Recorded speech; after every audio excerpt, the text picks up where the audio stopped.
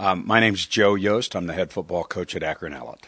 Aaron Male, fortunately, he blossomed last year and had 2,500 yards total, and uh, this year we're hoping he can have three or 4,000. But uh, he's certainly one of the top players in the area, and uh, when you come to watch Ellet play, you're going to see Aaron Male.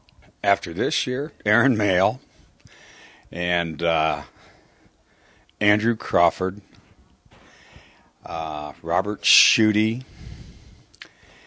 um, probably those are probably the top three. We don't have many seniors on a ball club, and uh, these young men just have great character and great quality. They're great students, and uh, uh, and there's a lot of young players, obviously, but. Uh, I do miss my players. They're great people, and, and it's a privilege to be around them. So I really miss my kids quite a bit, actually. Well, I think Dakota King, we have a, a sophomore that's going to start at uh, our whiteout.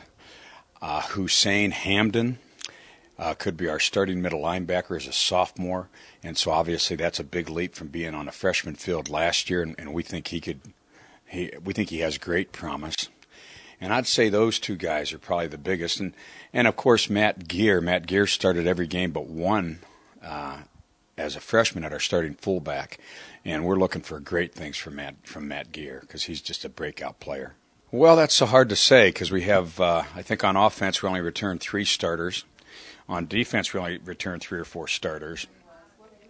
And so I think we just have several players that really just need to step up. It's not so much a bounce back, they just need to mature. And uh, actually, I'm kind of rooting for Andrew Neal.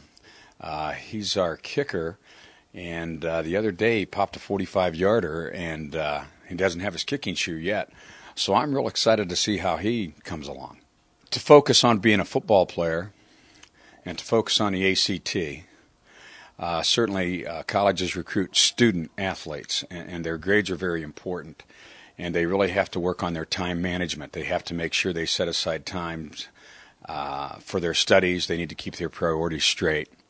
And obviously, if they focus on their studies, if they focus on playing football, if they focus on the day at hand, then they'll be successful. Sometimes people sort of look into the future and uh, they got to take care of getting to the dance first.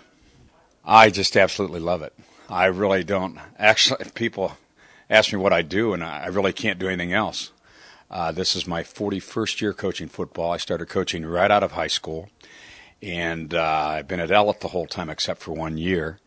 And uh, I really can't imagine doing anything else. Obviously, there's people that like to see me move on, and and some want me to stay, but overall, it's just what I do. I feel very comfortable, and uh, I think it's because at Ellet, it's our goal for football to be a, a part of the of life's journey. We really want it to be an experience where they're going to grow as people. If high school football is not going to be an educational experience, then why do we even have it in the curriculum?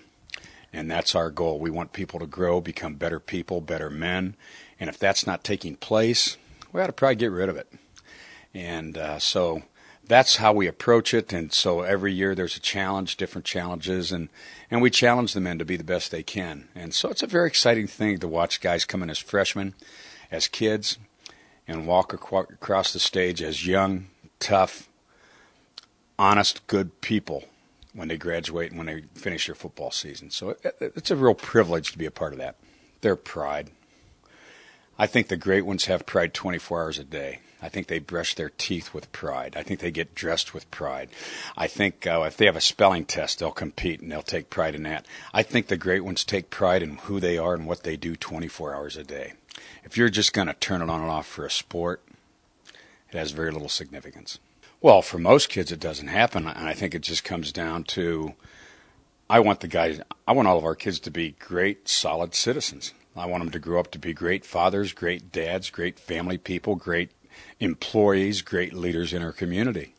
I mean, the number of people putting on a pro helmet, I mean, you can't even count them on one finger. I mean, that's how few there are. And so, certainly, we want our young men to grow up and be men of integrity and uh, good, productive, happy, fulfilled human beings. And that's what it should be about. Yeah. Go Orangemen.